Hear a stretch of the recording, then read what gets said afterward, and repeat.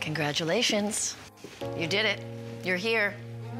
We didn't hire you for your grades, we hired you for your fight. We didn't choose the place we came from, but now they're here. Don't kill anyone or drop anything inside a patient. Are you back? I heard about the new class. The man you love is here. It's been six months. It's been a very difficult six months. I slept with an intern, but I didn't know she was an intern. I'm in no position to judge you on this. I do recommend you stay away from elevators. What is it, bring your kid to work day? We finally have interns again. The bus flipped over. We have a number of patients who have brain injuries. This just got super real. I see something in them. The spark. The drive. The genius. They just need a chance.